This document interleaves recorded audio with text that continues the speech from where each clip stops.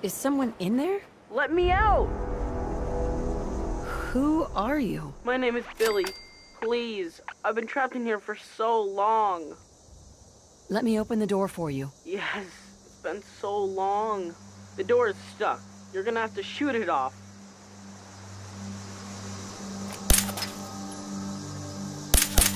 Uh, my legs are so stiff. Everything's so different. Guess I was in there for a really long time. What do I do now? So, what's the story with you in that fridge? It happened so long ago, back before everything got wrecked. When I heard the sirens, I tried to find someplace safe. When everything started to shake and fall apart, I just crawled inside. When it got quiet again, I tried to get out, but there isn't a handle on the inside. I just want to go home. Can you help me? Please? Well, um. Where did you live? Quincy, but I don't know how to get there. Everything's so different. It's all blown up. I just want to find out what happened to my mom and dad.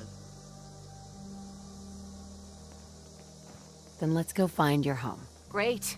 Now we have to watch this little brat. Thanks. I live in Quincy. Or at least, I used to. But I don't know how to get there. Everything's so different. It's all blown up. Ah, it's really bright out. Hey, Billy. I hope we find out what happened to my mom and dad.